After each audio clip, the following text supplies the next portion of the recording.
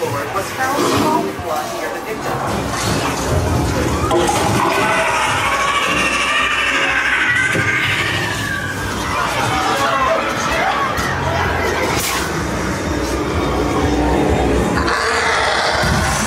Thank